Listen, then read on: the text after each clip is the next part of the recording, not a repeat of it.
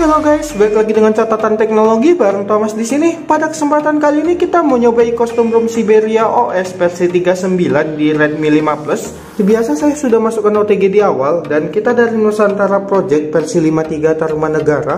Sekarang kita ribut aja ke recovery. Dan kita mulai ke recovery. Sudah masuk recovery, kita langsung ke menu wipe. Tandai dalpit, cek chat, sistem, vendor, data, internal storage. Oh ya kalau data kamu di internal storage jangan dicetak. Di sini saya mau clean flash jadi saya centang saja langsung swipe.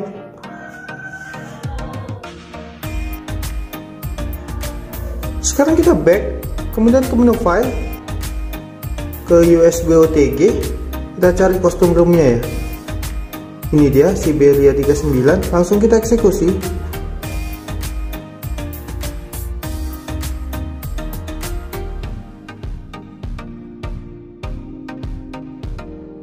Sudah selesai, memakan 2 menit 30 detik untuk installnya. Sekarang kita install Google aplikasi lagi karena itu tadi vanilla. Di sini saya gunakan di Google aplikasi yang core. Langsung kita eksekusi. Eh, bentar, ini salah. Android 13, Android 10 dia. Karena saya tidak mau install apa pun, kita langsung reboot aja.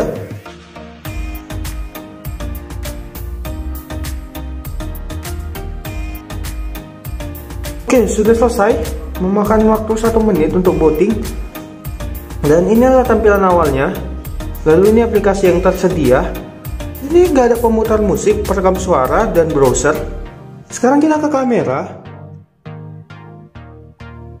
Kita lihat ini kamera Go atau kamera light dan versinya itu T1 kamera Go. Kita lihat fitur kameranya. Di sini ada portrait, foto, video dan translate. Kita lihat pengaturan lanjutan fotonya.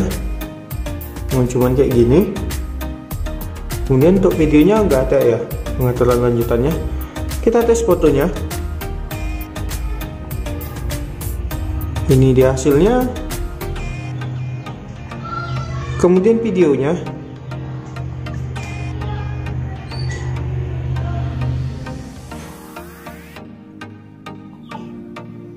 dan ini dia hasilnya. Oh hmm, kenapa nggak bisa ya? Nggak bisa diputar? Apa karena nggak ada pemutar videonya mungkin? Hmm, blank gitu dia hasilnya. Untuk internal storage sendiri sudah terpakai 8,54 GB untuk sistemnya itu 8,4 Sementara untuk RAM itu terpakai 1,4 GB dan kosongnya itu 2,4 GB. Untuk layanan yang berjalan seperti ini. Di sini free-nya cuma 2 GB. Sekarang kita ke quick setting. Lalu toggle yang tersedia.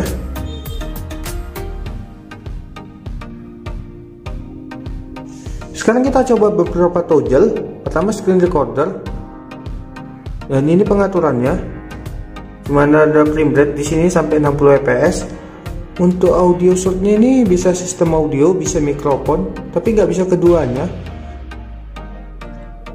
Oh ya, ini dari aplikasi pihak kedua kayaknya. Baru sound recorder. Itu sama ya di aplikasi yang ini juga. Kita tes dulu sound recordernya. Halo halo. Oke kita lihat hasilnya Oh, tidak ada tempat pemutarnya ya, jadi nggak bisa ngeliat hasilnya. Selanjutnya PS Info. Ini dia, hidup dia ya. Kita matikan lagi. Baru screen stabilization. Ini yang sama kayak di Kasa. Jadi kalau kita mereng tetap berdiri layarnya itu. Baru impressive. Ini impressive full langsung hilang. Status bar maksud saya, bukan quick setting hmm, tunggu kita matikan lagi. View info. Ini dia ya nggak ada temperatur. AOD ini AOD ini dari tadi udah hidup. Kita coba tes dulu. Oke bisa AOD nya baru hotspot. Kita lihat dulu. Oh nggak bisa ya wifi sambil hotspot. Wifi nya bakal mati. Cuma hotspot aja yang hidup selanjutnya gaming mode. Seperti biasa ya ini pengaturan gaming modenya. Nanti di gamingnya baru bisa di enable kan baru drag tema. Ini dia drag temanya. Selanjutnya kita ke Siberia setting. Pertama ini sistem. General tweak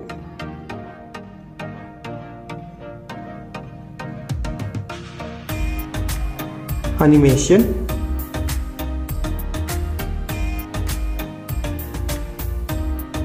Kemudian button port menu notifikasi di alert sound and volume aggressive battery gaming mode selanjutnya panel. Ini status bar. Icon baterainya nih presentasi bisa kita hidupkan. Network traffic uh, udah hidup tapi nggak nampak. Pas di status barnya nih. Oke lah. Ini wifi icon kita coba ganti. Kenapa nggak bisa ya? Apa di sini? Nggak ada yang beda. Coba kita ganti lagi ke simple icon. Sama juga nggak ada yang ganti. Notifikasi.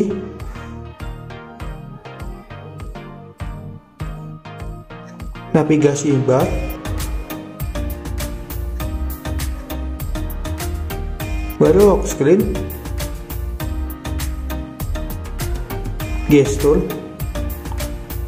double tap to sleep. Double tap to sleep kenapa ada dua?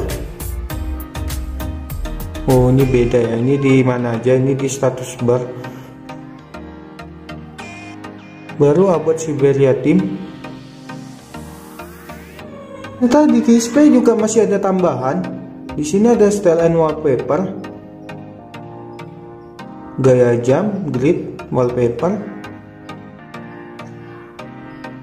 Kemudian kalau kita geser lagi ke bawah, di sini ada theming, Ancient color. Kita coba ganti space. Hmm, warna itu yang ganti ya. Primary color. Coba ganti Siberia. Oh ini ngikuti wallpaper atau memang Siberia kayak gitu? Baru ada ini font ya coba kita ganti yang ini. Baru konsep. Ini aja kita ganti. Udah itu aja. Ini saya sudah mendownload MX Player. Kita coba aja untuk muter video kita yang tadi. Oke bisa dia ya. Berarti tadi yang rusak galerinya yang nggak bisa muter ini video. Ini adalah sound tutu yang pertama yaitu 116.602 dan untuk suhunya itu nggak bisa saya tunjukkan karena baterainya ini udah diganti jadi nggak ada temperaturnya lagi. Ini adalah tutu yang kedua yaitu 118.359 ini adalah hasil crawlingnya selama 30 menit. Maksimalnya itu 99 rata-rata 90 dan minimalnya 82 CPU nya tidak di overclock dan di sini ini banyak kali kuning sebenarnya. Bisa dilihat tapi nggak parah sih karena cuman kuning nggak merah ataupun oranye sekarang kita akan menguji daya tahan baterainya dengan memainkan game PSP lagi yaitu The Warriors selama 15 menit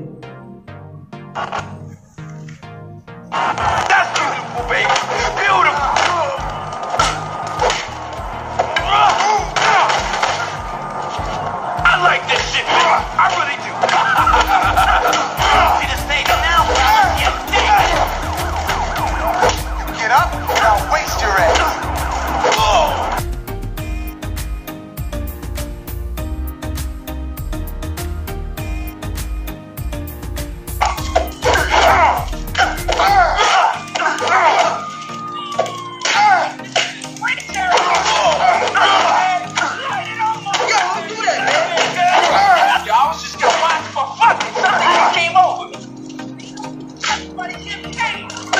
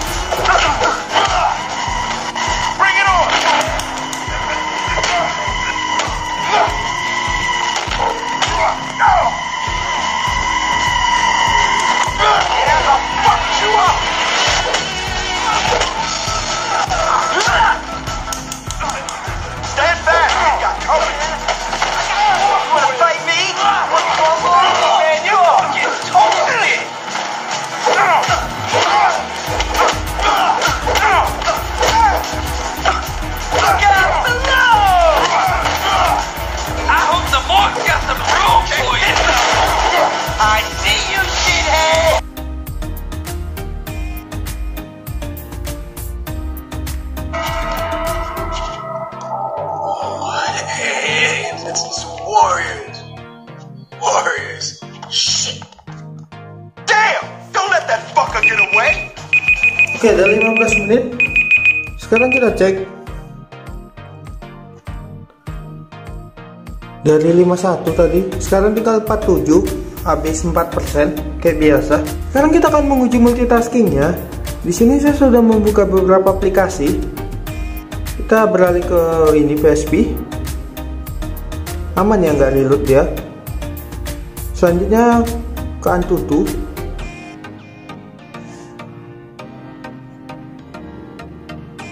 Oke, seperti biasa reload. Kemudian Playstore. Playstore aman, nggak reload ya. JARZIP aman juga. Ke Depis check kita coba. Aman juga. Baru kan tutu lagi. Aman dia nggak reload. Terlihat ke PSP lagi. Oke, aman dia ya. Launchernya sendiri pakai quick step. Ini versi 10. Untuk settingan launchernya sendiri seperti ini, ada icon. Sini ada icon pack, bisa kita tambah dari Play Store ini. Baru home screen, app drawer, miscellaneous. Di sini ada hide and protect aplikasi. Untuk keamanannya sendiri sudah ada fingerprint dan face unlock. Untuk kernelnya sendiri pakai 4.9 Umatrix kernel versi 38 yang dibuat tanggal 23 Desember 2021. Untuk kecepatan chargernya kayak gini, dia sampai 11 watt dan arusnya itu sampai 2500. Dan ini stabil banget. Jadi inilah kostum ROM Siberia OS versi 39 di Redmi 5 Plus. Terima kasih telah menonton. Sampai jumpa lagi. Bye bye.